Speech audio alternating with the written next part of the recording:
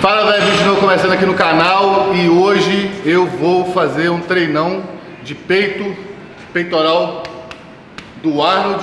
Quem é meu cameraman é o Cauã, meu sobrinho, que não quer treinar, mas ele vai ser obrigado a vir na academia para servir de cameraman.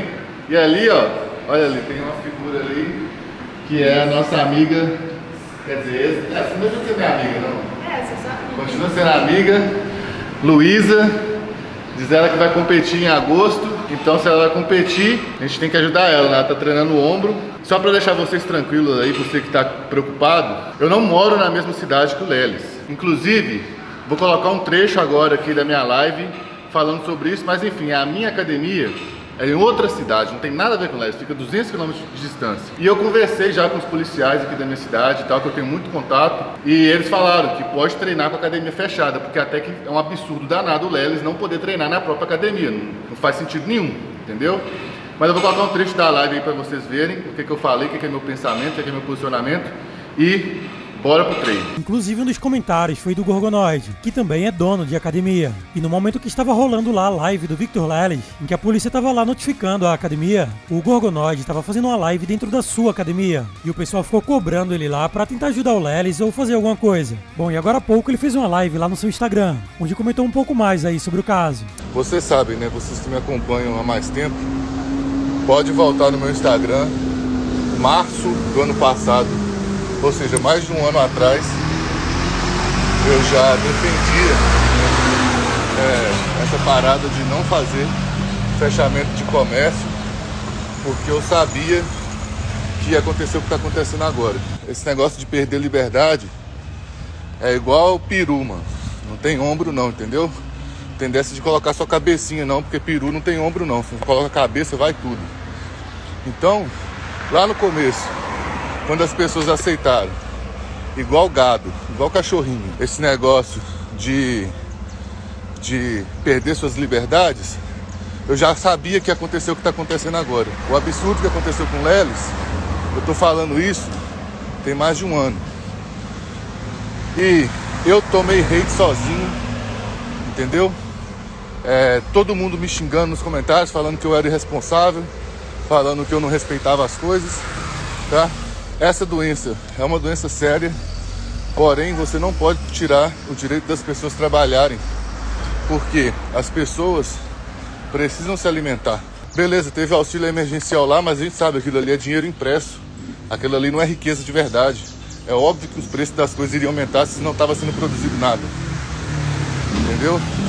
Então hoje, lá no comecinho eu já avisava, o preço de tudo vai subir, vai vir uma crise fodida, as pessoas vão passar fome, né? E o que, que eu sempre falei? Tem pessoa idosa em casa, tem pessoa vulnerável, é sua responsabilidade cuidar dela, entendeu? Se você tem condições de ficar em casa, fique em casa. Se você tem condições de trabalhar de home office, trabalhe de home office. Se você está sentindo sintomas, procure fazer alguma coisa, entendeu? Procure um médico. É, mas as pessoas precisam trabalhar. Entendeu? Eu sempre defendi isso. E toda vez que eu fazia isso, eu fazia isso sozinho. Nenhum youtuber me ajudou. Entendeu? Muito pelo contrário. Os conselhos que eles me davam era, sabe o quê? Para de falar de política. Vai falar de treino. As pessoas te seguem para falar de treino. Mas eu não consigo, cara, ignorar as coisas que estão acontecendo. Porque eu, se fosse olhar só eu mesmo, eu não preciso de, de negócio físico para sobreviver. Eu vivo de internet. Entendeu? Então, quando começou, eu não tinha academia ainda. E mesmo assim pode voltar igual eu falei em março do ano passado, o vídeo que eu postei já falando disso, né? Falando das pessoas que precisam trabalhar. Eu não precisava fazer esse vídeo. Eu fiz porque eu tava pensando nas pessoas que precisam trabalhar, velho. É, minha mãe é mais velha, eu praticamente não tenho contato físico com minha mãe. É, sempre, nunca fui de sair. Vocês podem ver quando eu faço alguma coisa é para pessoas próximas na minha casa. Não fui em festa nenhuma, entendeu? Réveillon, passei lá com a família da Luísa. Esse negócio aqui em Minas Gerais, dessa onda roxa aí, é responsabilidade dos políticos, cara. Na época da eleição, vocês viram, eu postei vídeo aqui, ó. Prefeito da minha cidade falou que o comércio nunca mais ia fechar, que tava e eu quero dizer e fazer o um compromisso com o comerciante, que o comércio de Timóteo não fecha mais, porque hoje nós temos a infraestrutura de saúde necessária com o nosso hospital, tive que inclusive entrar na justiça para poder garantir os leitos, porque a antiga mantenedora não teve interesse né, de fazer é, os leitos, mas hoje a nossa saúde está preparada, organizada, e nós vamos tomar as decisões com muito equilíbrio, como sempre fizemos. Que já estava preparado, estava tudo sob controle. Faz as contas aí. Os casos no Brasil ano passado explodiu três, quatro meses depois do carnaval, foi o auge, né? Carnaval fevereiro, junho, pau quebrou. Agora, volta quatro meses atrás e me fala o que estava acontecendo. Ah, lembrou, né? Eleições. Nas eleições, os políticos estavam fazendo o quê? Carreata, passeata, pedindo um voto de casa em casa, não é? Na hora que ganharam, fizeram festa pra c... aglomeração do c... Foda-se. Foi igualzinho o carnaval, não foi? E aí hoje quem paga o pato? Paga o pato esse pessoal aqui, ó. Tá tudo fechado. Ninguém pode trabalhar. Por quê? Essa porra desses políticos, o que, eles fizeram? Nada. Né? Enfiaram dinheiro no cu. Cobre do seu influenciador, cara. Tá ligado? Os caras não falam nada, velho. Os caras que são meus amigos aí também não falam nada, entendeu? A população toda sofrendo, os seguidores dele passando dificuldade e eles não falam nada. Pra não se expor e não tomar hate. Então essa que é a minha visão. O pessoal ficou me cobrando ontem, ah, você tem que fazer alguma coisa. Fazer o quê, cara? Eu tô aqui fazendo sozinho tem quanto tempo? E ninguém me ajudou. Meus amigos aí podem ficar com raiva de mim, mano. Tô nem não. Mas eu tô falando disso sozinho tem mais de um ano. Aí agora, na hora que a água bate no pescoço dele, aí fica triste. Igual a Graciane Barbosa também. Nunca falou nada de lockdown. Falou nada. Na hora que a polícia veio e prendeu o Belo, aí ela faz posts, né? Chorando né? Ou seja, a pessoa só importa quando chega nela.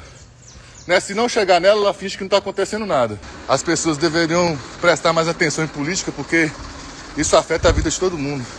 Então, na hora que eu estava tomando rede sozinho, ninguém fez nada. IPTU chega, IPVA chega, né? É, todos os impostos chegam, imposto de renda chega, né? O aluguel chega, a conta de água chega, a conta de energia chega. E o salário? Vai cair quando? Então, velho, para começar o treino de peito, a primeira coisa que eu vou fazer é fazer uma pré-exaustão. Então, eu vou fazer ali seis séries de começar com 15 repetições, duas de 15, depois duas de 12, depois duas de 10, aumentando a carga. Por quê? Vou fazer no voador, cheguei. Vou fazer aqui no voador, porque o voador é um, uma máquina que vai recrutar só peitoral, entendeu? Então eu vou fazer voador, igual eu falei. Vou fazer duas de 15 repetições com a carga X, vou aumentar um pouquinho. Vou fazer 12 repetições, vou aumentar até o máximo ali e vou fazer 10 repetições. Como pega só peitoral, essa máquina, não tem como recrutar outra coisa além do peitoral. Então, uma coisa que eu estou fazendo também por causa do meu fisioterapeuta, todo exercício que eu vou fazer, eu sempre estou fazendo esse movimento aqui antes, ó. Eu jogo o braço para frente e faço assim, ó. E aí eu faço o exercício. Para todo exercício estou fazendo isso, para bíceps e para tudo. Está me ajudando bastante, minha dor no ombro praticamente já sumiu.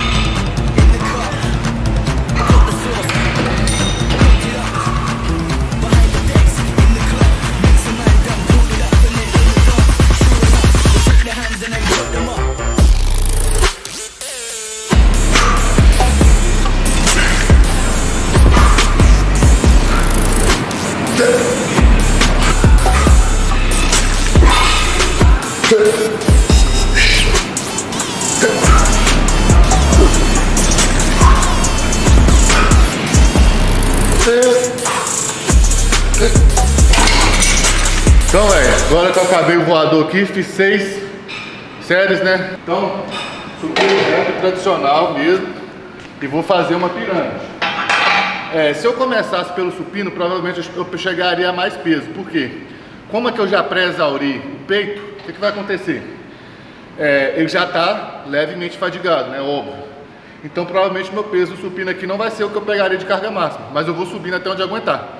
Então vou colocar aqui 20 em cada lado, vou fazer 15 repetições, depois vou colocar 30 e vou aumentando até onde eu conseguir acabar mais ou menos lá em 6 repetições.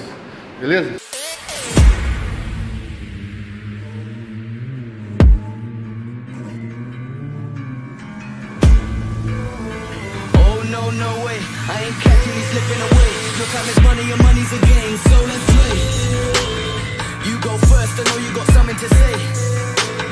time I'ma tell it to you straight.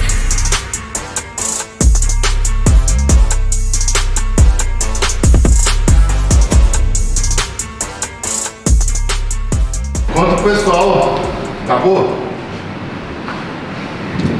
Quanto pessoal, por que você não estava treinando? Por que você parou de treinar? Eu tive Covid, aí eu fiquei de quarentena, né? O tempo que Quantos dias pede. dessa quarentena? Acho que deu uns 14 dias, mais ou menos. A quarentena eu acho já errado, porque quarentena tinha que ser 40 dias, né, Por que, que chama quarentena oh, se a pessoa fica 14 dias? Vai, já foi horrível ficar parado. Só que a gente não contou ainda no canal do Mar, do Gorgonoide, ah. que eu tive embolia pulmonar ano passado. Então foi um agravante pro meu quadro saúde, né? Não, não. E aí eu fiquei meio debilitada, real. E aí eu passei um pouquinho mais mal, que geralmente o pessoal passa. Mas aí eu tô de volta. e aqui, para quem não sabe, gente, a, a, a Luísa, ela trabalha no emprego comum, ela faz estágio lá no Cicobi. Dá quantas horas por dia? Seis horas por dia ou oito horas por dia? Seis horas por dia. Seis horas por dia, faz faculdade à noite, ela faz direito. E aí ela pegou, né, essa licença. Essa pessoa é dramática pra caralho, né? Qualquer coisinha que ela sente, ela acha que ela vai morrer. E o Marco não sabe que eu passei ano passado, porque a gente eu não sei. tava junto. Mas e aí ele sei, acha véio. que eu fico fazendo drama, mas não é drama. É, é, é, é não é 100% drama não, mas... Eu espero uns, que minha mãe não veja esse vídeo. É uns 30% drama, por quê? Porque ela vai querer te bater. Não vai querer bater nada não, Mas é, aí você tá querendo agora competir. É, vou você quer competir, não, em agosto. Eu vou competir em agosto. Porque ano passado a gente fez uma simulação, só que depois eu relaxei muito e parei de fazer as coisinhas certas. E aí depois de um tempo eu voltei a fazer, comer direitinho, treinar, mas tem pouco tempo isso. E o Marco vai me ajudar a realizar essa vontade então, real. Então agosto, falta quase cinco meses. Tem muito tempo ainda. Mas eu já estava querendo começar, para fazer igual o Carinha está fazendo comigo. Eu quero que você fique pronta antes, para depois ficar mais fácil fazer manobra e não... Simples... Porque quando você faz com pouco tempo, você tem que focar só em secar, em secar, em secar e foda-se como é que você vai chegar no final, porque você simplesmente tem que perder gordura.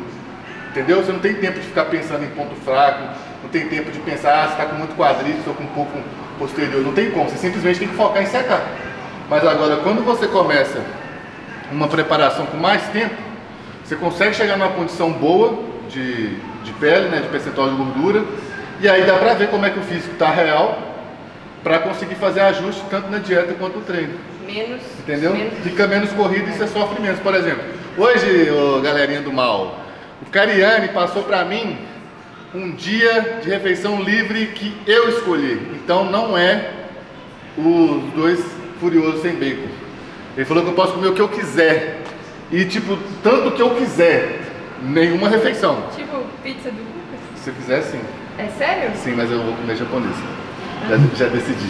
Mas enfim, Aí o que, ele fez? Ele passou um cardápio para hoje com quatro refeições mais o lixo. As quatro refeições, cara, a primeira foram quatro ovos, 70 de aveia, 30 gramas de whey e morango. Aí a segunda, arroz ou mandioca e frango, arroz, mandioca e frango, arroz, mandioca e frango. Basicamente é isso. Então já fiz três refeições hoje. Pós-treino que eu vou fazer mais uma refeição limpa. E mais à noite vou mandar japa cabuloso, pelo menos umas 1.500 calorias de japa. Né? Mas enfim, é, mas é isso aí, velho. Depois eu vou fazer, um, se o pessoal quiser, eu posso fazer um vídeo no canal mostrando o que, que eu quero fazer, né, no sentido de, de alimentação e treino pra gente montar junto. O pessoal ver como é que é, porque pra, ainda mais pra mulher, né, não tem tanta informação assim pra mulher que vai competir, você só vê a atleta pronta, você não vê o que, que ela passa. Às vezes você vê a blogueira só postando alguma coisa assim, mas não entende por que, que ela tá comendo aquilo em cada hora. Então acho que vai ser da hora, eu tô falando pra caralho, bora ali fazer 40 cada lado. Pô, velho, que raro apareci, desfocado.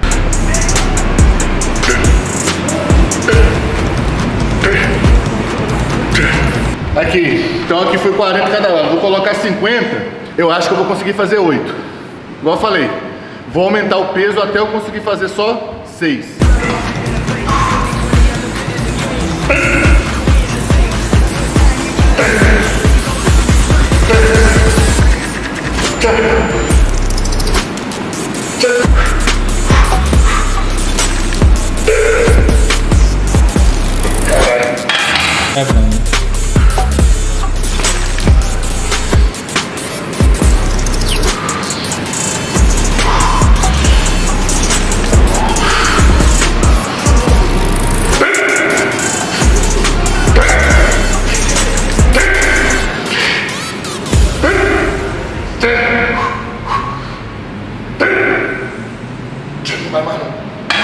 Tá bom, né? Então, aí, velho, ó.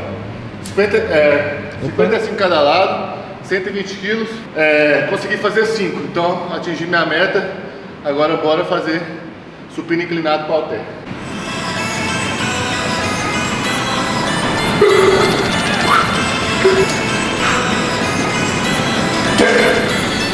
Então,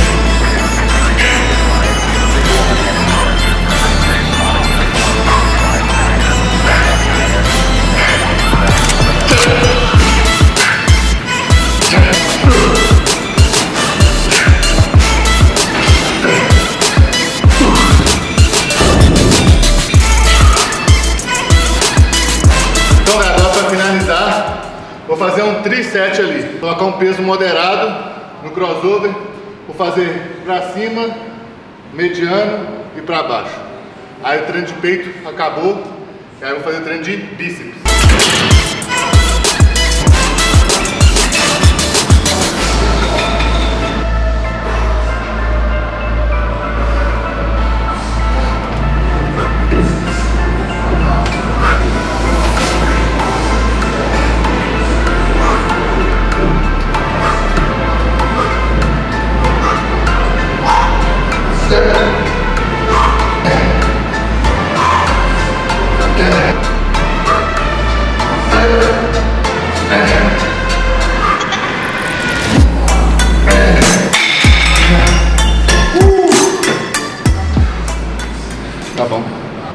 Treino de peito.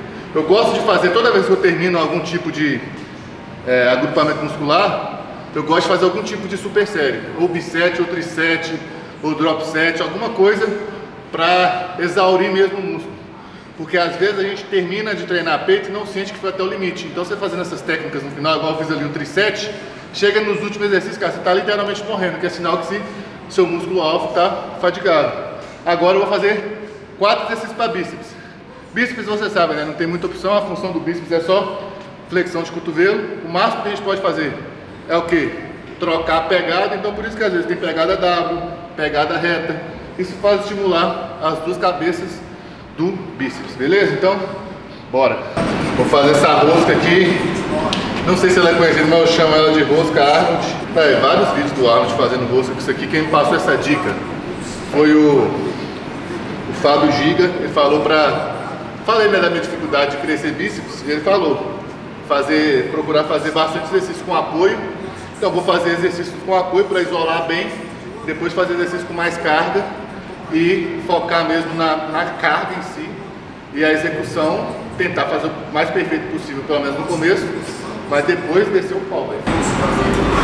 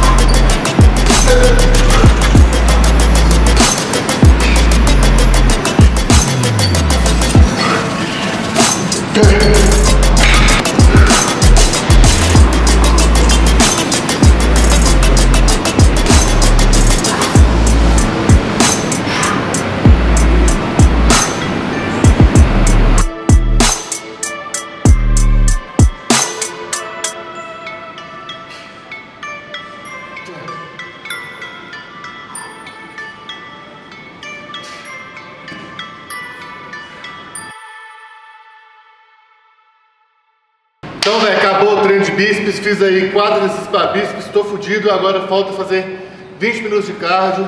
E aí tem mais uma refeição limpa, com 250 de mandioca e 180 gramas de frango. E aí depois tem minha refeição livre, então eu vou mostrar pra vocês. É isso aí. Então, bora pro cardio. Então, agora eu tô feliz que eu vou comer o meu sushi. Isso aqui não é só meu, tá? Tem mais ou menos um terço aqui é dela. Mentira, é, me menos, é menos que isso. Lógico que é um terço, como 15 peças, é óbvio. É. Então, um terço. Quase. Enfim, espero que vocês tenham gostado desse vídeo. Se inscreve no canal se você não for inscrito, deixa like. Vou comer aqui minha, minha, refeição livre. Tô muito feliz. E eu tava. Eu comi, né, depois do treino, tá- demorou tanto que eu dormi. Mas enfim, você quer hambúrguer, Calma? Eu quero. Então tá, vou pedir hambúrguer pra você. enfim, vou pedir seu hambúrguer, é nóis, tamo junto e até o próximo vídeo.